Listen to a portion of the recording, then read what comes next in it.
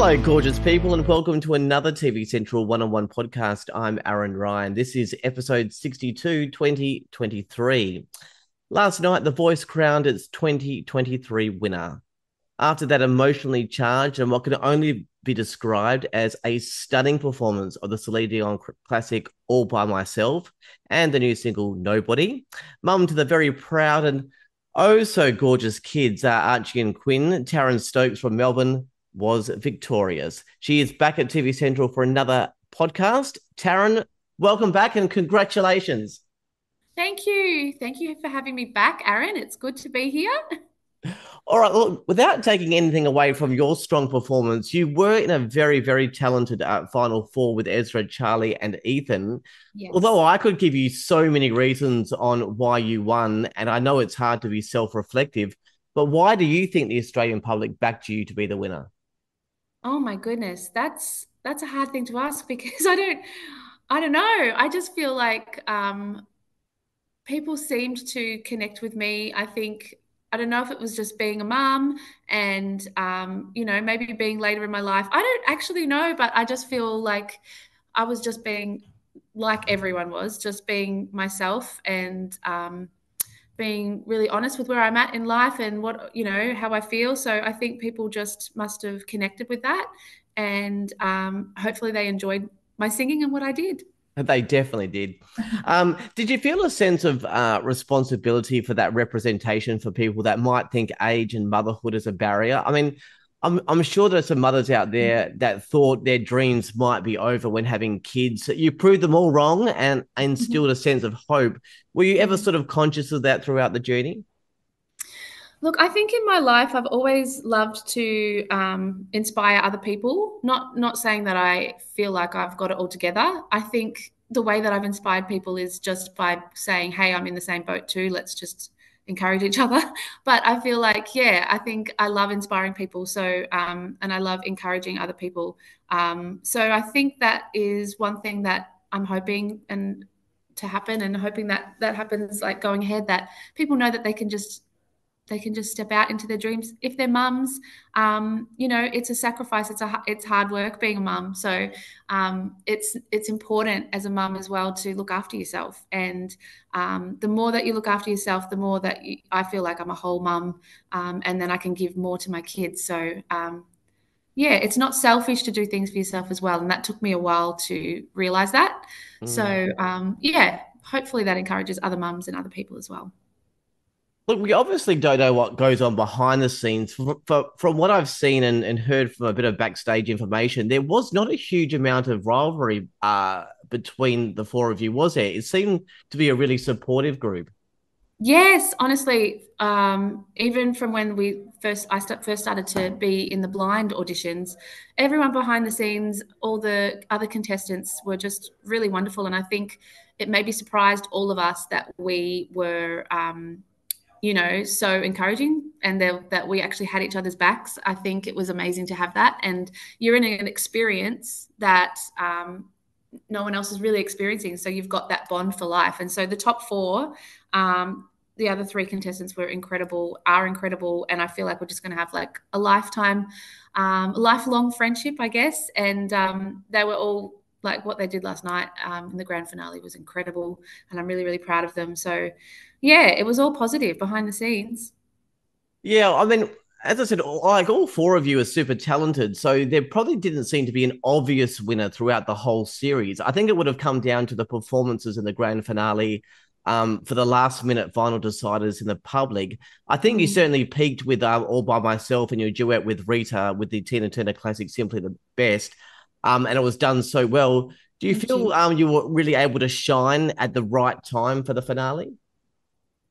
I I felt very excited about the finale. I feel like yeah, the songs were great. I also felt like I by then I had nothing to lose. We kind of all felt like we won because um, usually with all the other rounds you you know i could be going home tomorrow and it's that kind of like i've got to do my best and there's a lot of competition in it and it's funny that this was obviously the highest level of competition but um, we all felt less stressed about it so i think i mm. um, gave my best because I didn't feel like I was under much pressure. I just thought, you know what, this is it.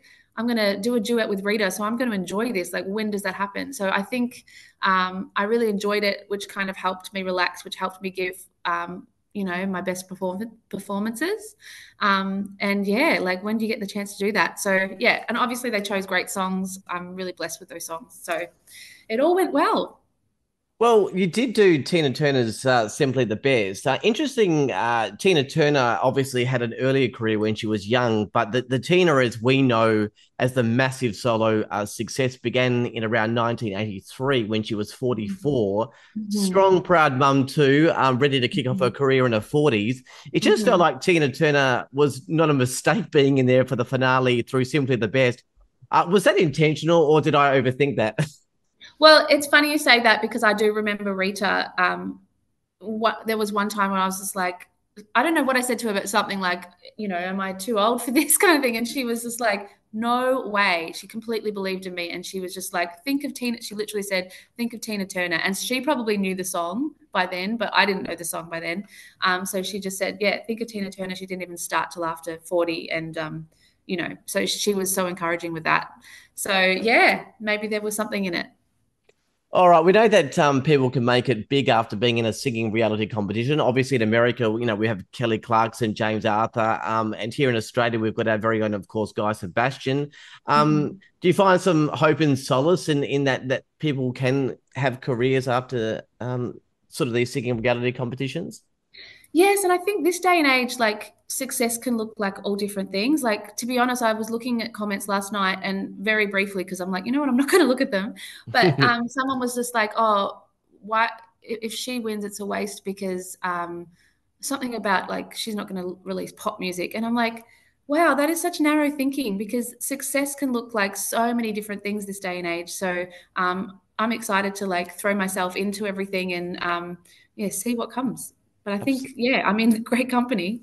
Absolutely. Tell me about the rapport you built with uh, Rita um, and, and that part of the journey on The Voice. Yeah, I think I connected with Rita um, woman to woman. I'm not sure if it's like that I'm older, but I, I didn't really want to like just treat her like you're a star and be so intimidated that I can't even talk because I used to be like that in my life. So I feel like um, I just yeah I saw her as as um, an incredible, hardworking, amazing businesswoman woman, and um, she I think she really like um, warmed to that and she yeah we just connected um, and she was really she's not um, intimidated herself by any other strong women. She's just yeah, she was just really encouraging to me. And um, yeah, we just got along really well. I don't know, we just clicked. It was amazing. Mm. And and of course you did that great duet with her. Um, but speaking of those duets, you um you always have to give some props uh, to the others as well. I mean, how good was uh, Jason Derulo and Ethan with that that uh, Lewis Capaldi classic, someone you loved? Must have been great to have the, a front row seat to um some big massive performances as well in the grand finale you know what? I didn't get to see the performances um, when we recorded it, and so it was really oh. amazing to just sit and watch and yeah, enjoy my beautiful friends just smashing it with these. Yeah, it's just incredible, and I loved seeing Ezra's. Um, duet with Jess that was just so beautiful and Charlie and Guy just the way that they like creatively put that together was insane Mm. Your kids um were there too, Archie and Quinn. They're, they're quite young, um, but but how's yeah. the journey been for them? Are, are, they your, your biggest fans, or are they not quite understanding the enormity of of all of this just yet? Yeah, they're definitely not understanding the enormity. Sometimes I used to say, "Mummy's on TV," and he's just he doesn't care. But I think um, now they're a little bit older than when it was recorded as well. And Archie's nearly five, and he was trying to tell Quinny last night um, mummy's mummy wins, mummy's winning. Um, so he kind of knows there's a competition and mummy won something and that we might be able to go shopping. So that's kind of where we're at. oh, that was so cute on the show. Um, because yourself, uh, Ethan, uh, Ezra, and, and Charlie were all great vocally, I think there might have been and you mentioned this in the very first question. That's why I was asking about the reflection. It was that connection that got you over the line. You're a strong woman, a wife, a mother, chasing a dream. Um, with, with, with what some would see as obstacles, um, that never give up attitude, positivity. I think people either see themselves in you or want to see themselves in you. Do you understand that connection vibe? Have you have you received um like feedback from other people, even though you weren't sort of looking on the socials? Oh, I've been looking at the socials way too much. That's why I decided not to last night. But oh. I have, I have, um, yeah, I've, I've, I've loved. This is what warms my heart the most is like um, other people, mums or not. But there've been a few um, amazing mums who just like don't know me that messaged me that um, we're, we're talking about. Yeah, I'm, I'm a mum too, and thank you for inspiring me. And um, you know, then I just started chatting to one mum, and she was just talking about breakups. And I, and I've realized after like back and forth chat I don't actually know this woman but I'm just like I'm so sorry to hear. And we're just having this big long chat. So I just I love connecting with people and and encouraging people as I've said before. So yeah it's been amazing. And um, I just yeah I just love that other mums are coming along the ride and connecting with that as well. Yeah.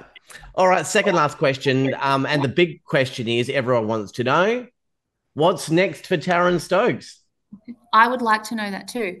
Um, I've woken up this morning and here I am, uh, the winner of The Voice. And so I think I would love to meet up. I can't wait to meet up with Universal Music. I think that's going to be the next step to, to really talk and plan and create. And um, I want to release music. I also really want to like get into the Christmas season because I love singing Christmas carols. So um, if you'll find me somewhere singing, singing Christmas carols, I hope.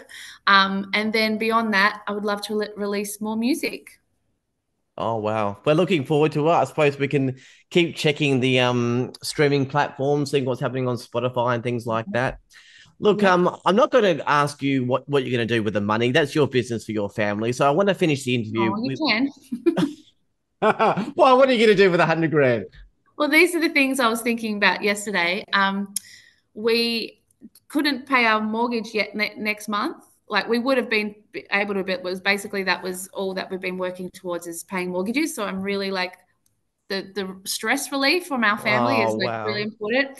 And my husband's been doing the landscaping, and so we need I need to get a landscaper so that our house, because you know we've just moved into it, um, has a backyard for the kids. So that's really important for me. And then after that, paying for music things.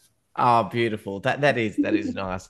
All right. So last question, um, and just a scenario. Um, there was a girl sitting at home tonight. Um, she was young once. She had dreams, aspirations, and hopes. Um, she knew who she was. She then got married and had kids, and the priority of having kids was her focus at her own journey, her own dreams, and perhaps her own individuality and identity had been suppressed and lost. Mm-hmm. She feels um, her time is done, e- even though there's something stirring within her. What advice would you give her? Uh, I would say, um, basically, this is like talking to myself, isn't it? But I would say just carve out a little bit of time for yourself, and it's okay. Don't feel guilty um, because um, your kids are safe and they're okay. I think that was one of my big fears is like, are my kids safe? I've got to be with them 24 seven. Mm. Um, and just take one small step each time towards, um, you know, fulfilling your own, or filling your own bucket and fulfilling your own dreams. And um, your kids are going to be okay. Oh, that's beautiful. Sharon, congratulations. Soak it in. Well deserved. um, you, you obviously made a strong connection to the Australian public and um, have resonated in the hearts of so many. Appreciate your talent first and foremost, but thank you um, for the inspiration to so many as well. Looking forward to hearing what's next. Thank you for joining me here at TV Central once again. Thanks so much, Aaron. That was now superstar performer and winner of The Voice 2023, Tarryn Stokes. You can watch the full season of The Voice on 7 Plus, and you can jump onto the music streaming platforms to listen to Tarryn's single nobody. Well, that's it for this podcast. For all the latest news, streaming platforms, uh, streaming reports, ratings, television guides, and podcasts, head to tvcentral.com.au. For now, I'm Aaron Ryan. Thank you to the beautiful Tarryn Stokes. Go, girl. Bye for now.